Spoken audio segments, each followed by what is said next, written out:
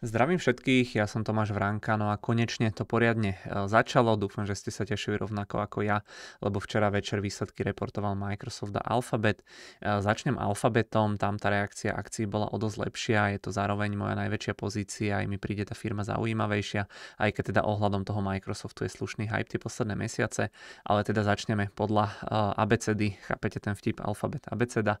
Vtipy mi ale moc nejdu, takže dajme si radšej teda disclaimer, upozornenie na rizika a samozrejme, pokiaľ sa vám táto naša tvorba páči, tak budeme radi za každý odber na YouTube, keď nám dáte.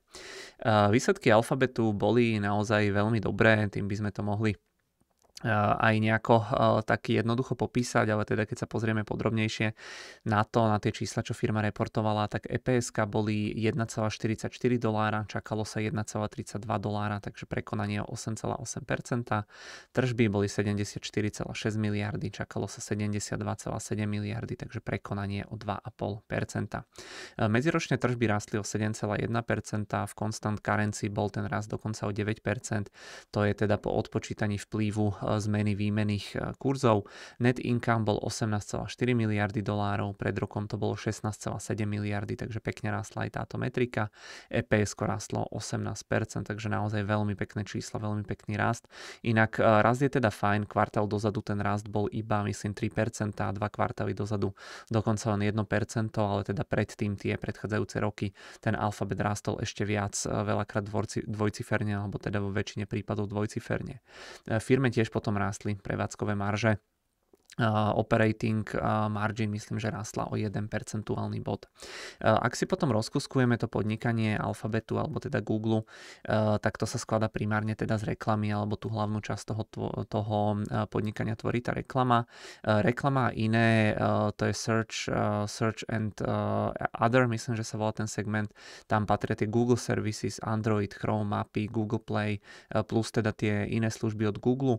K tomu sa ešte dostaneme, tak celkovo tento segment vygeneroval 66,3 miliardy, čakalo sa 64,7 miliardy, takže prekonanie o zhruba 2,5%, no a pred rokom to bolo 62,8 miliardy, takže tiež celkom pekný rast o nejakých, ja neviem, 3-4-5%.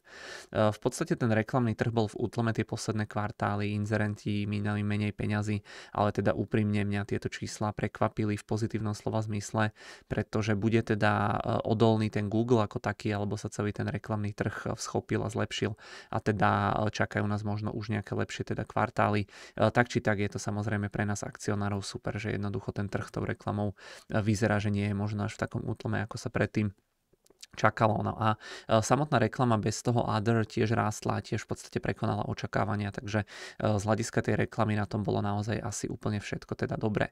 E, z tej reklamy sa potom ešte samostatne zvyč, zvykne reportovať YouTube, ten ešte býva zaujímavý. Tam bol slušný útlm tie posledné kvartály, ale teraz tu boli tržby 7,66 miliardy, čakalo sa 7,41 miliardy amerických dolárov, takže očakávania tu boli prekonané o 3,4%. Pred rokom rokom tu boli tržby 7,34 miliardy, takže tiež celkom pekný rast aj tu. E, YouTube inak potom klesal predtým e, posledné 4 kvartály, takže celkom pozitívny trend, e, že sa to teraz takto, takto zvrátilo, ale teda zase bodaj by nie, tých reklam je tam celkom, celkom dosť poslednej dobe, aspoň tak pocitovo mi to príde. No a YouTube Shorts mali inak 2 miliardy aktívnych používateľov mesačne.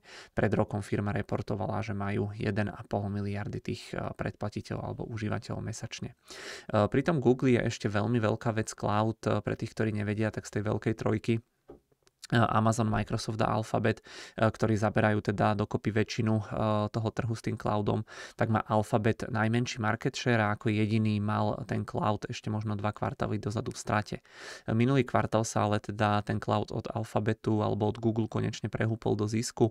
Operating income tam bol 200 miliónov amerických dolárov a teraz ten operating income zrástol firme až na 400 miliónov dolárov, takže do pár kvartálov to bude pridávať v podstate ročne miliardy k zisku ziskom a do pár rokov možno aj desiatky miliard po vzore teda Amazonu a Microsoftu.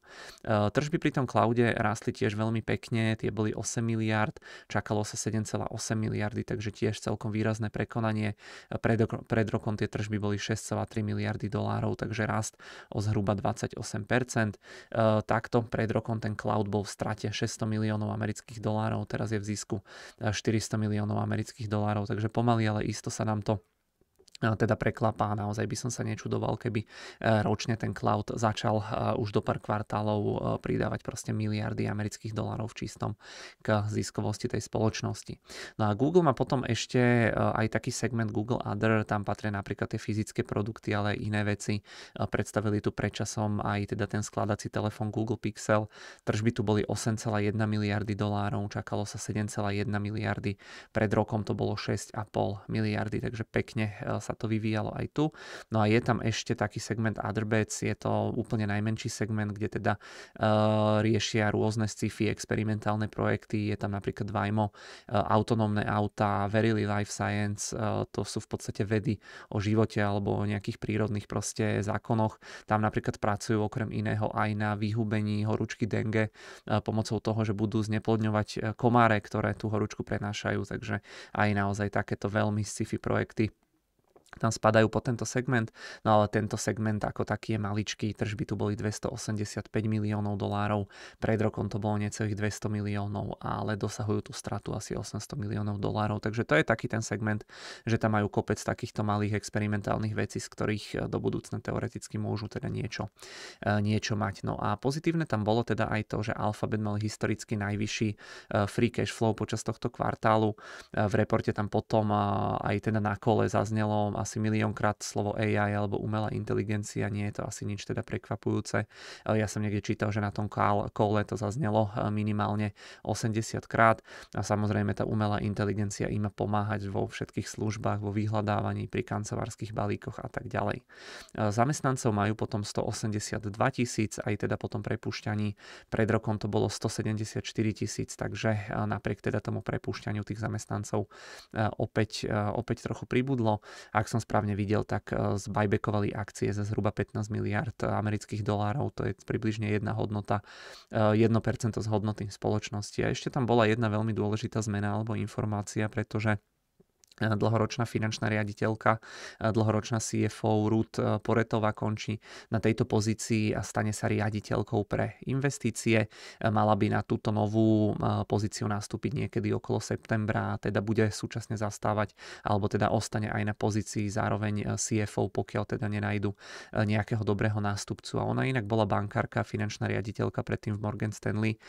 Je taká asi nie úplne moc známa, ale teda aj vďaka nej prišla teraz tá nákladová disciplína firmy a jej zásluhou sa Google zmenil na Alphabet, že proste prešiel na takúto podnikovú štruktúru, ktorá sa viac podobá na holdinga a pomohlo to firme fungovať lepšie alebo optimálnejšie eh, z hľadiska eh, viacerých eh, proste nejakých krokov, takže budeme držať palce na tej novej pozícii a teda ako CFO v Google pôsobila 8 rokov.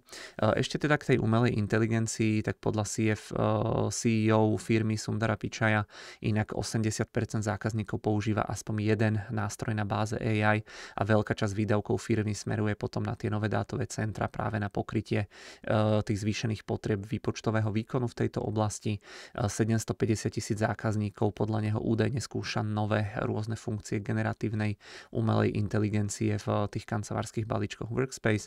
No a teda tiež hovoria, že náklady sekajú ďalej, ale teda e, spomínali, že napriek tomu budú naberať zamestnancov, ale teda v menšej miere, ale teda pre tie dôležité projekty, e, medzi ktoré teda určite radia aj tie veci ohľadom umelej inteligencie, s ktorou teda, e, s ktorou teda pomáha tie posledné mesiace aj jeden zo zakladateľov Alfabetu.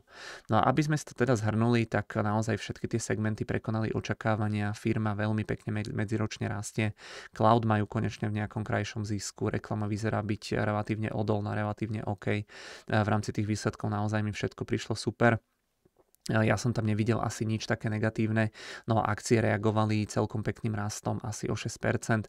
Ono je to celkom sranda, lebo teda tam boli asi v prípade Google obavy uh, o ten reklamný biznis, o to vyhľadávanie, asi teda v kontexte toho Microsoftu, uh, tak v podstate stačilo, keď to Google takto prekonal a tým, že tie očakávania alebo že tie obavy sa nepotvrdili, tak tie akcie rástli pekne nahor. Zatiaľ čo pri tom Microsofte, tak tam tie akcie rástli posledné mesiace veľmi výrazne a tam sa asi čakalo ešte teda viac, aj napriek tomu, že tie výsledky Microsoftu boli veľmi dobré, tak e, napriek tomu, že tie e, očakávania Microsoft prekonal, tak tam tie akcie zase, e, zase zleteli nadol, pretože ono ten hype alebo proste ten rast tých posledných mesiacov tam bol naozaj enormný. Takže vidíte pri tom Google tie očakávania alebo boli tam tie obavy a čísla boli dobré, tak tie akcie to ocenili a pri tom Microsofte presne teda Naopak.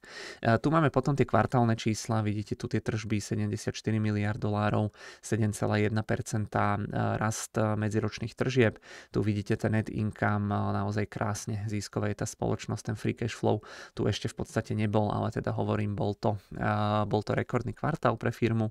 Na tento rok sa očakávajú tržby zhruba 250 miliard a 75 miliard by mala firma zarobiť vo forme teda zisku, čo ju oceňuje, na to sa pozrieme ale zhruba na nejaký 20 násobok, 20 násobok ziskov. No a tu sú potom ešte nejaké kvartálne, si viete pozrieť kvartálny vývoj tržieb, či už pri cloude alebo pri tej reklame.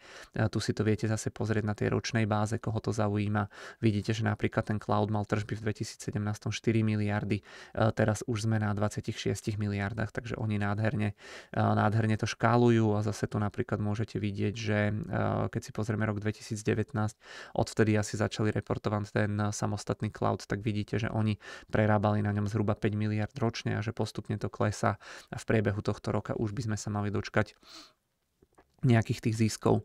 E, tu mám ešte jeden taký pekný grafik z Bloombergu, ktorý porovnáva tržby, e, myslím, že sú to kvartálne čísla, e, kvartálne tržby YouTube, to, to je ten tmavomodrý stĺpček vždy, a kvartálne tržby toho cloudu, no a môžete vidieť, že v podstate už tie posledné kvartály to teda vyzerá tak, že ten cloud sa v podstate dotiahol alebo už respektíve prekonal tržbami. Ten YouTube, nehovoriac o tom, že tam budú asi ešte teda väčšie alebo lepšie marže, takže vidíte, že ten Google okrem toho reklamného biznisu, že sa snaží prenikať aj toho cloudu a teda po tých rokoch eh, veľmi vysokých investícií sa im to, sa im to konečne nejako vypláca. Eh, tu som si nachystal ešte jeden graf, kde je porovnaný vývoj tržieb eh, z toho Google Cloudu, to sú tie zelené bary a tu v podstate vidíte ten operating income v rámci toho cloudu, no a vidíte, že postupne každým kvartálom Google rastli tie tržby, ale že teda tie straty každým kvartálom boli na úrovni od 1 do 2 miliard amerických dolárov, ale vidíte, že postupne ako rastú tie tržby, ako nám rastú tie zelené bary, tak v podstate ten operating income teda sa dostáva z toho mínusu pomaličky do plusu. No a tu vidíte, že ten minulý kvartál už ten operating income bol tých 200 miliónov. Tento kvartál ešte Bloomberg nemal spracovaný, ale mal by byť ten stĺpček zhruba dvojnásobný a tie tržby ešte teda vyššie. E, tu sú potom čiastkové výsledky, tu vidíte EPS tržby, tu vidíte tržby mimo tých uh, traffic acquisition cost, ale teda vidíte, že viac menej všetko prekonané. Tu sú potom jednotlivé segmenty, že tiež mimo teda Google Network tam všetko bolo prekonané, takže naozaj veľmi pekné výsledky, takže všetky tie očakávania sa nám, alebo tie reálne hodnoty sa nám zelenajú v porovnaní s tým, čo sa očakávalo. No a z hľadiska ocenenia ten Google sa momentálne obchoduje za 24 násobok ročných ziskov, čo mi príde stále stále super cena. Je to, keď sa pozriete na to ocenenie za posledných 10 rokov. E, napriek tomu, že už to nie je ten 15-16 násobok ziskov, ale proste 24, tak stále je to podľa mňa enormne lacné v kontexte toho, kde to bolo posledné roky. Pozrite na tie roky 2021, tam sa to obchodovalo za 40 násobok ziskov, aj keď pochopiteľne tam sa čakali trošku iné tie zisky a trošku iné tie tržby, ale napriek tomu si myslím, že naozaj krásne, e, úžasné čísla. No a posledný obrazok, čo som si pre vás nachystal, je z takého Twitterového účtu e, App Economic Economy Insights, oni robia takéto veľmi pekné infografiky alebo vizualizácie. A teda ešte včera večer myslím, že stihli spracovať spracovať eh, takto tie výsledky alfabetu eh, do takej grafickej formy, takže je tam viac menej asi len teda všetko, čo ja som hovoril. Vidíte, ako tu rástli tie jednotlivé segmenty, vidíte je tu ten net profit, vidíte tu vždy tie marže v percentách, takže kto má rád také nejaké vizuálne pomôcky, tak pokojne si to pauznite alebo si to pozrite na ich, na ich Twitteri. No, keď sa pozrieme na tie akcie toho, toho Google, toho alfabetu, alebo nechajme takto ten týždenný graf, graf, tak vidíte, že od tých minim oni pridali už možno nejakých 40%. Dnes to otvorí zhruba o tých 6% vyššie, pokiaľ sa nestane nič nejaké nečakané, takže niekde v oblasti tých lokálnych maxim.